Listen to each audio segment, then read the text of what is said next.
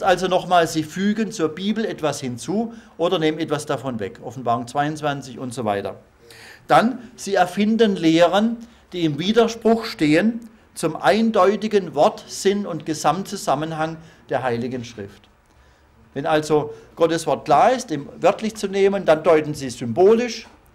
Und da, wo Gottes Wort sagt, es ist ein Gleichnis oder äh, äh, symbolisch zu verstehen, da, da nehmen sie es wörtlich. Typisches Kennzeichen. Zum Beispiel, wenn der Herr Jesus sagt, ich bin der Weinstock, ja, dann würde eine Sekte, ich erfinde jetzt mal die Weinstocksekte, hergehen und sagen, Jesus ist wirklich ein Weinstock, deshalb müssen wir die Weinstöcke anbeten. Ja, das wäre jetzt mal ist eine erfundene Sekte jetzt. Aber das ist ein typisches Kennzeichen, wie es aber auch auf anderen Gebieten erfolgt. Zum Beispiel Rudolf Steiner, Anthroposophie. Ähm, er lehrt, dass Christus der Erdgeist ist. Und als der Herr Jesus verraten wird von Judas, da sagt er einmal, äh, der, der mit mir den Bissen hineintaucht, der wird mich verraten und der wird mich mit Füßen treten, heißt es dann. Mit Füßen treten. Und dann hat Rudolf Steiner gesagt, in seiner symbolischen Umdeutung, ja, wir alle treten den Christus Erdgeist mit Füßen, indem wir auf der Erde herumlaufen. Christus ist der Geist der Erde und wir treten ihn mit Füßen. Ja, so hat er diese Stelle aus dem Zusammenhang gerissen und umgedeutet. Typisch sektierisch. Und was auch andere mitmachen, Zeugen Jehovas und so, wissen wir ja. Obwohl der Herr Jesus sagt, Zeit und Stunde weiß niemand, wann er wiederkommen wird, sagen sie, aber wir wissen es doch. Vielleicht nicht die Stunde, aber den Tag. Und, und so wurde schon Verschiedenes auch bei Adventisten am Anfang äh, gedeutet und berechnet. Ähm, und da gilt für uns das Neue Testament, wir sollen bereit sein, die Zeichen der Zeit beachten, natürlich, ja, alle Zeit wartebereit, aber nicht versuchen, jetzt Stunden und Tage auszurechnen. Da gibt es ganz klare Aussagen in Apostelgeschichte 1, Matthäus 24, dass wir das nicht tun können, auch nicht tun sollen und nicht tun brauchen. Und ein ganz wichtiges Kennzeichen ist, dass Sekten, falsche Propheten und so weiter zentrale Wahrheiten des christlichen Glaubens übergehen und Jesus und sein Werk verleugnen, zumindest reduzieren vor allem seine Gottessohnschaft, habe ich schon Beispiele genannt, seine Fleischwerdung, sein Sühneopfer am Kreuz und seine leibliche Auferstehung. Das wird vielleicht noch nominell im Munde geführt, aber es wird entleert, es wird umgedeutet. Ja, Christus sei Sonnengeist oder nur ein höheres Geistwesen, er sei nicht wirklich Mensch geworden. Andere sehen ihn wieder nur als Mensch. Also in ganz verschiedene Richtungen kann es umgedeutet werden. Und es ist immer falsch, wenn es nicht die biblische Gesamtschau enthält. Es hat mal ein bekannter Evangelist, ich glaube es war Gerhard Bergmann, gesagt, schau darauf, was sie mit dem Kreuz Jesu machen. Ob das im Zentrum bleibt, ob wirklich der Sühnetod Jesu allein uns völlig erlöst hat oder ob sie da Abstriche machen. Ja? Dann wird es sektierisch. Wenn nicht mehr das Kreuz im Zentrum ist, wenn das reduziert wird, an die Seite geschoben, andere Dinge plötzlich in die Mitte treten. Das ist ein ganz wichtiges, sogar das entscheidende Kennzeichen. Ob sie das Kreuz durchkreuzen mit einem falschen Kreuz, ja, muss nicht unbedingt das Umgedrehte sein. Es kann auch ein gnostisches Kreuz sein, ein Henkelkreuz oder wie auch immer, symbolisch jetzt auch gesprochen. Es gibt ja schon viele falsche Kreuze auch. Wobei ich mir habe sagen lassen, die Schweizer Fahne mit ihrem Kreuz, das sei durchaus angeknüpft an das Kreuz Jesu und das Rot, das Blut Jesu. Schön, wenn es noch so ist, aber da wollen auch schon manche das abschaffen in der Schweiz. Ja, dann möchte ich auch zusammenfassend sagen, dass ihre Behauptungen bei den Sekten eine Mischung sind aus Wahrheit und Lüge, um viele zu verführen, habe ich auch schon ausgeführt. Dann machen viele Sekten Zukunftsvoraussagen die mit göttlichem Offenbarungsanspruch vorgetragen werden und dann natürlich in der Regel doch nicht eintreffen. Manchmal gibt es Zufallstreffer, dann fallen ihnen manche zu, aber ja, es kann nicht eintreffen, was der Herr nicht so erfüllt. Und dann wird manchmal auch in gewissen Kreisen gesagt, der Herr hat zu mir geredet oder sogar noch extremer, ich, der Herr, sage euch. Stehen dann Propheten auf, ich, der Herr, sage euch, wie ein Medium fließt es dann durch muss man, denke ich, vorsichtig sein, sehr zurückhaltend und prüfen, wenn Menschen mit diesem Anspruch aufstehen. Wenn dann vor allem noch einer aufsteht und sagt, aber ich, der sage euch anders. Ja, es gibt auch schon solche Versammlungen, wo sie dann ihre Konflikte auf diese übersteigerte Art miteinander austragen. Ganz schlimme Entartungen, wenn das so läuft. Ich bin überzeugt, dass der Herr heute noch durch predigt, durch sein Wort zu uns spricht. Aber wir haben das Wort Gottes in seiner Fülle, wir müssen da nichts hinzutun, dürfen auch nichts hinzutun. Dann enthalten sektierische Lehren oftmals, nicht immer, aber oft, ein falsches Evangelium von Frieden, Liebe, Harmonie, Einheit und Toleranz.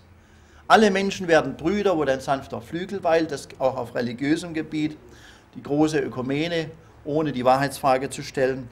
Es kann aber auch die andere Seite geben, dass man das Gericht Gottes überbetont. Ja, meterweise im Blut wartend bei Harmagedon und so weiter, diese Bilder bei den Zeugen Jehovas, wo dann den Leuten Angst eingejagt wird äh, mit dem höllischen Feuer, so wie es im Mittelalter war.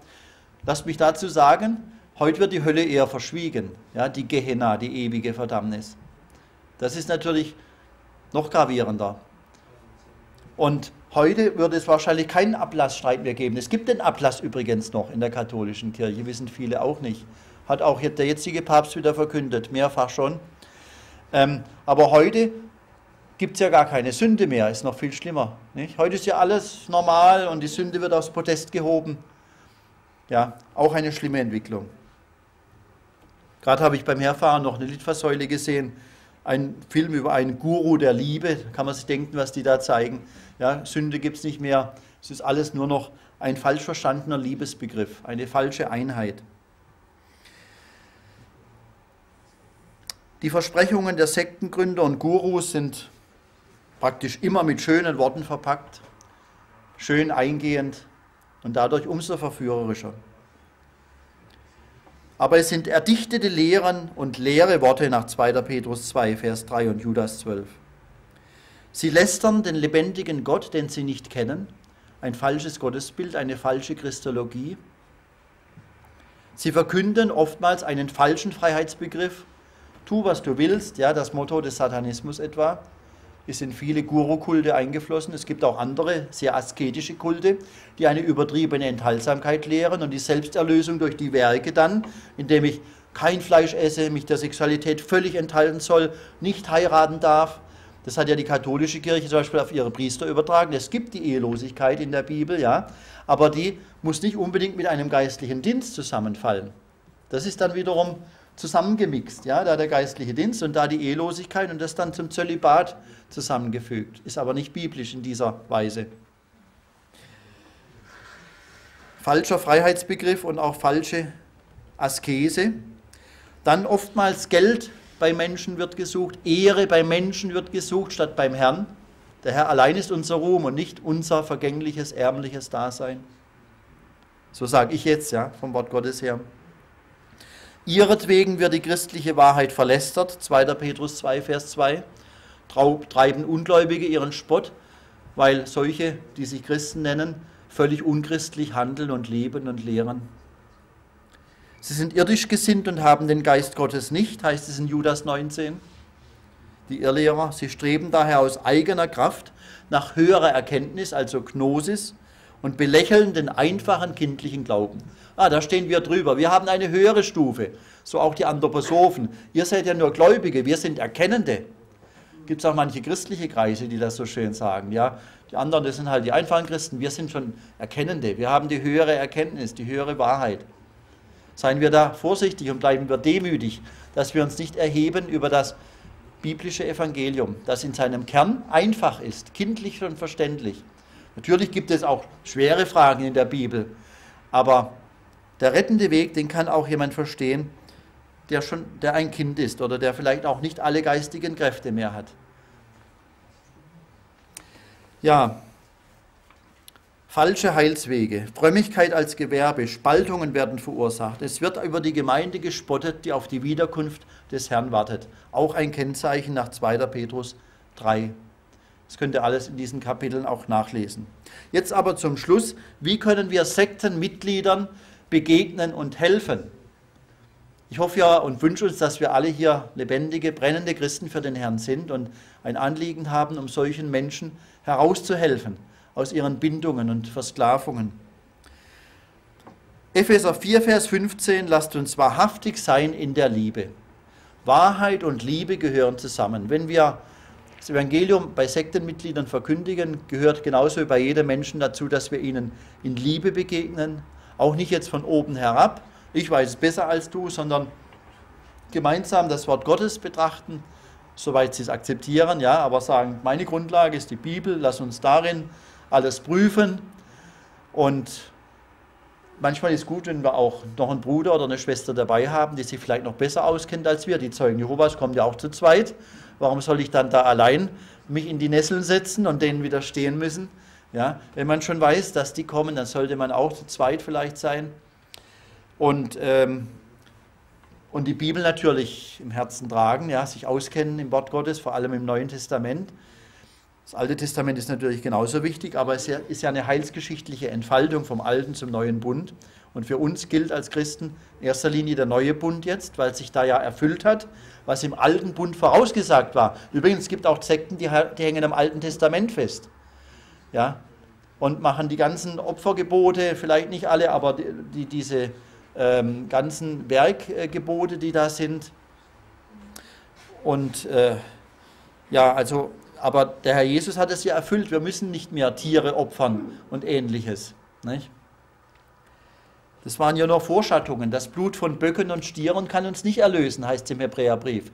Im Blick auf das Alte Testament ist besonders der Hebräerbrief, Hebräerbrief, ja, wichtig, um zu zeigen, wie im Herrn Jesus Christus die Erfüllung gekommen ist für diese Prophezeiungen, für die Vorbereitungen im Alten Bund. Also in Wahrheit und Liebe den Herrn bezeugen. Persönliches Zeugnis bringt oft mehr als viele Diskussionen, dass wir Heilsgewissheit haben, Befreiung von der Schuld, dass wir vollkommene Erlösung haben, uns nicht selber aus dem Sumpf ziehen müssen, wie es die Sekten meistens auch lehren. Die lehren ja, dass du dann entsprechend die Leistung bringen musst und jene Leistung und dass das Opfer Jesu nicht ausreichen würde, wird behauptet, was natürlich eine Lüge Satans ist. Wir können zur Erlösung Null Prozent hinzufügen, gar nichts. Er hat alles vollbracht, es ist vollbracht. Ein vollkommenes Opfer. In der Mitte der Zeiten ist der Herr gekommen, um für die, die vorher gelebt haben, das Opfer zu bringen, im Alten Bund, und auch für die, die nachher noch kommen sollten. Ja, was Israel erhofft hat und auch die Völker, die durch Israel zum Glauben kamen, sie haben ihre Vergebung, ihre Sühnung der Schuld bekommen am Kreuz von Golgatha, rückwirkend und vorwirkend in der Mitte der Zeit, als die Zeit erfüllt war. Jetzt nicht in Jahren genau auszurechnen, aber so als der Höhepunkt der Zeit ist, so heißt es im Galaterbrief, als die Zeit erfüllt war. Also in Wahrheit und Liebe, das Gebet um die rechte Haltung. Sage die Wahrheit in Liebe, aber sage aus Liebe die Wahrheit. Nicht verschweigen, nicht verschweigen. Personentoleranz ja, aber Sachtoleranz nein. Das heißt, wir respektieren auch den Andersgläubigen als Geschöpf Gottes. Er ist aber noch kein Kind Gottes, wenn er nicht an Jesus als den Sohn Gottes glaubt. Wird oft auch vermischt, ja, sind doch alle Kinder Gottes. Falsch, sofort widersprechen, alle sind Geschöpfe Gottes. Kinder Gottes sind nur die, die wiedergeboren sind aus Wasser und Geist. Johannes 3, ganz klar nachzulesen. Dann seid ihr Kinder Gottes in der Wiedergeburt. Personentoleranz ja, aber keine Sachtoleranz. Sachtoleranz würde heißen Einebnung der Wahrheit, dass alles gleichgültig ist. Gleichgültig und damit gleichgültig. Postmoderne Beliebigkeit, das wollen wir nicht vertreten, dürfen wir nicht vertreten, wenn wir dem Herrn treu bleiben wollen. Dann die Begriffe. Wenn ich mit einem Sektenmitglied spreche, ist es ganz wichtig, die Begriffe zu klären, die Terminologie, der Fachbegriff, ja, die Terminologie. Denn der Sektierer, die Sektiererin die sprechen auch oftmals von Gott, von Jesus Christus, von Gebet, von Wiedergeburt sogar, von Glaube, aber sie meinen in der Regel etwas ganz anderes damit. Es kann manchmal ein paar Überschneidungen geben, schließe ich nicht aus. Aber wenn es im Zentrum nicht stimmt, ist auch das andere verschoben, perspektivisch verschoben und damit nicht mehr im Lot. Ist nicht mehr im Lot. Wenn anders über das Kreuz Jesu gelehrt wird, über seinen Sühnetod, anders über die leibliche Auferstehung, anders über die Irrtumslosigkeit der Bibel, dann ist die ganze Sache schon verschoben. Und deshalb gilt es zu klären, was meinst du denn, wenn du von Gott redest, von Jesus redest, von Wiedergeburt? Meinst du vielleicht sogar Reinkarnation damit? Seelenwanderung, Wiederverkörperung, wie im Hinduismus, Buddhismus, äh, New Age, Theosophie, Anthroposophie und so weiter. Die lehren ja alle Reinkarnation als Wiederverkörperung und sprechen dann auch von Wiedergeburt. Ja, aber das ist die fleischliche Wiedergeburt und nicht die geistliche. Wir sind wiedergeboren durch Wasser und Geist. Das heißt, durch das reinigende Wasserbad im Wort, durch das Wort Gottes und den Geist Gottes, Johannes 3. Etwas ganz anderes als ein fleischliches wieder in diesen Leib kommen müssen, was ja ein Fluch ist im Buddhismus. Buddha hat das als Fluch gesehen selber. Und sie wollten ja freikommen von diesem Kreislauf der Wiedergeburten, diesem ewig sich drehenden Rad, so das Symbol des Buddhismus. Es ist kein Segen, es ist die Auflösung ins Nichts, Nirvana, was dort erstrebt wird.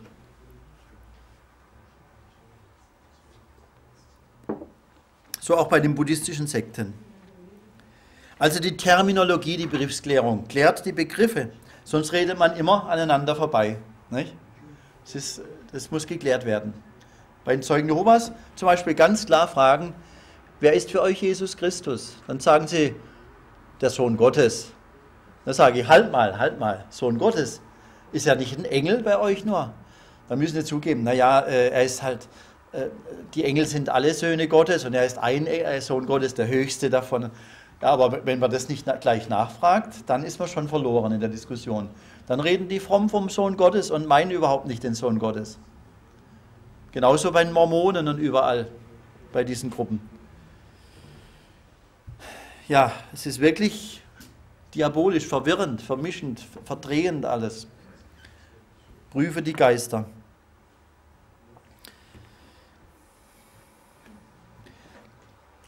Die Sabbatfrage möchte ich auch erwähnen. Ist das noch von Interesse? Ich weiß nicht, ob Adventisten unter uns sind. Da ist vieles gemeinsam. Ja, da freue ich mich auch drüber. Ich würde es auch nicht jetzt äh, zu diesen extremen Sekten stellen. Aber falls jemand hier ist, prüft einmal wirklich, ob der Sonntag das Mahlzeichen des Tieres ist, wie behauptet wird von Ellen Goldwhite und von den Adventisten, und ob der Sabbat, die Einhaltung des Sabbats schon das Versiegelungszeichen der wahren Jünger ist, ob das die Bibel so sagt in Offenbarung 13, steht das da? Ist es nicht eher ein Chip, dieses Mahlzeichen vielleicht? Auch eine Spekulation, gebe ich zu. Ja, jedenfalls ist es die Zahl des Namens des Tieres. Ich denke, wenn jemand unbedingt den Sabbat halten will, das würde ich noch nicht als heilsentscheidenden Unterschied ansehen. Ja, das mag so sein, aber dann bitte nicht, wenn wir den Tag der Auferstehung Jesu feiern. Das ist nämlich im Russischen Vaskresenje. Da heißt es Auferstehungstag. Da wird es noch deutlicher. Natürlich haben wir hier die, die germanischen Bezeichnungen Sonnentag. Finde ich auch nicht so gut. Aber der Vaskresenje-Tag, der Auferstehungstag, ist uns im neuen Bund der Tag, wo der Herr erschienen ist seinen Jüngern und wo an Pfingsten die Gemeinde gegründet wurde. Deshalb haben die ersten Jünger sich an jedem Tag versammelt. So steht es in der Bibel. Und auch am ersten Tag der Woche ist der Herr erschienen, da waren sie versammelt, mehrfach. Ich glaube fünfmal, fünf Erscheinungen sind es. Ich will jetzt die Diskussion nicht vertiefen, aber ich sage nur, ich feiere frohen Mutes den Auferstehungstag. Habe ich gar kein Problem damit von der Bibel her. Und der Sabbat in Kolosser 2 ist das einzige Gebot, was auch nicht wiederholt wird, sondern in Kolosser 2 wird gesagt, wir sollen nicht die Tage äh, höher achten, ja, sondern es wird hier sogar relativiert. Es wird nicht als das absolute Gebot betont wie die anderen zehn Gebote, die alle wiederholt werden, etwa in Römer 13, wo dann gesagt wird, das ist die Erfüllung des Gesetzes. Wer nicht äh, tötet, nicht Ehe bricht, äh, wer Gott ehrt und so weiter, das wird wiederholt im Neuen Testament. Aber der Sabbat wird eben nicht verbindlich gemacht. Im Gegenteil, der Herr Jesus, der Menschensohn, ist der Herr des Sabbats und sie haben ihn auch übertreten. Er hat geheilt am Sabbat, die Jünger haben Ehren gerauft. Wenn wir noch im alten Bund leben würden, ja, dann müssten wir das auch alles einhalten, dürften wir nur einen Kilometer am Sonntag laufen. Und die Juden sind ja so listig, die haben dann Wassersäcke auf die Esel gelegt, dann konnten sie, äh, ich glaube, 20 Kilometer oder weit reisen. Wenn sie eine Reise machen mussten, haben sie einen Wassersack dann auf das Reittier gelegt. Das ist natürlich, äh, wie sagt man da, äh, Erbsenzählerei oder wie man es nennt aber das ist nicht das, was Gottes Wort an sich damit gemeint hat. Ja, jeder sei da seiner Meinung gewiss, aber wir wollen nicht dem anderen den Glauben dann absprechen, wenn wir sagen, wir äh, denken, die Auferstehung, denken an die Auferstehung unseres Herrn, wenn wir den ersten Tag der Woche jetzt feiern.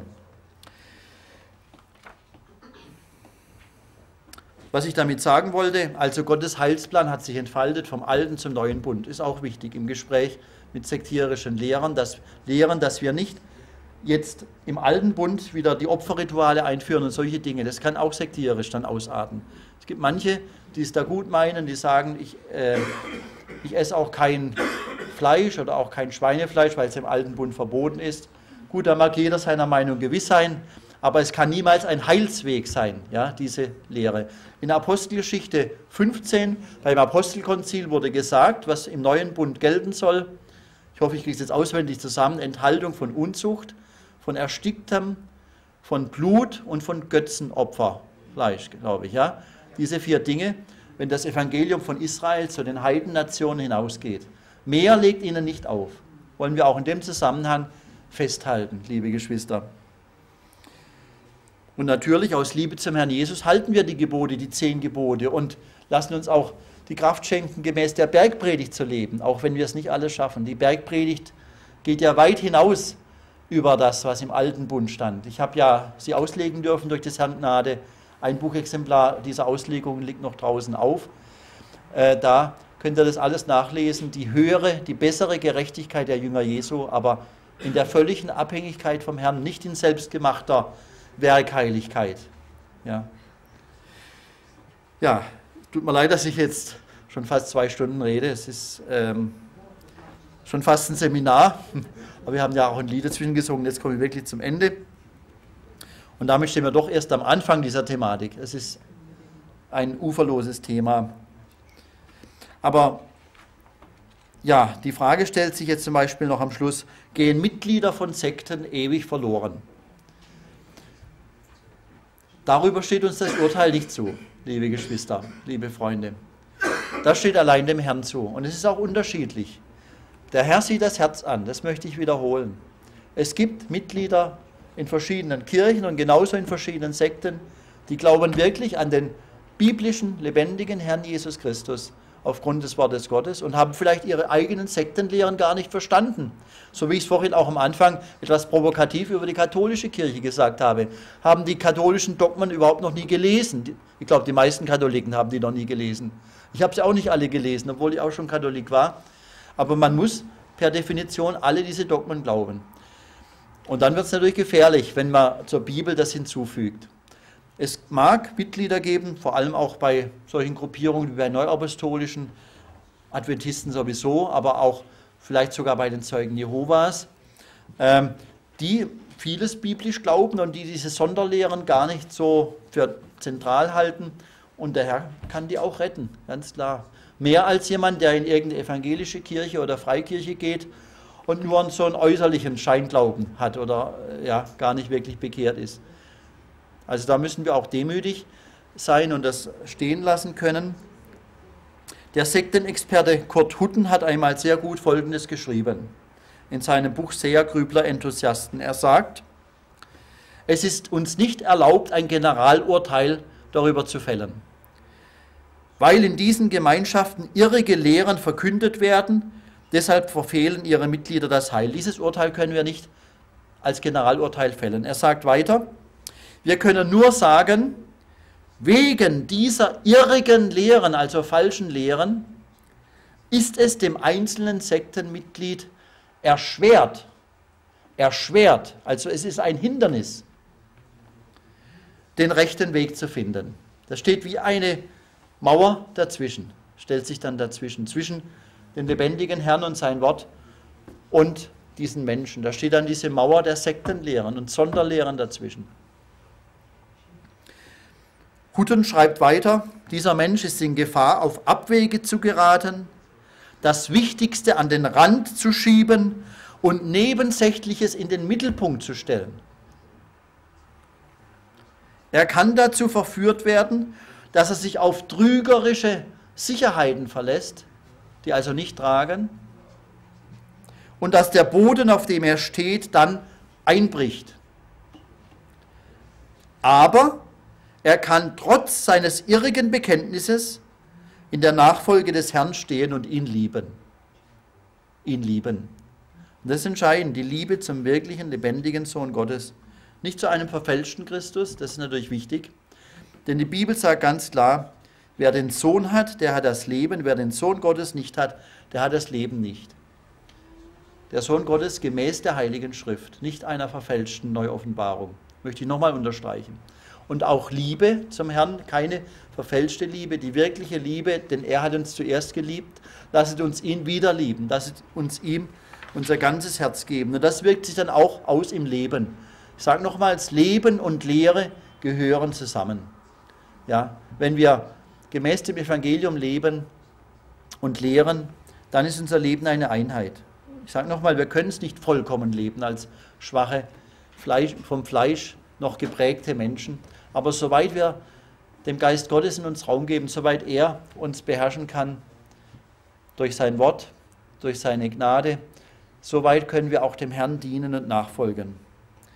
Ich möchte auch jetzt im Gebet den Herrn bitten, dass er uns stärkt im Glauben, dass er uns immun macht gegen falsche Geister und falsche Propheten, falsche Christus, falsche Systeme und dass er uns auf dem schmalen Weg zum Ziel bringt der himmlischen Herrlichkeit.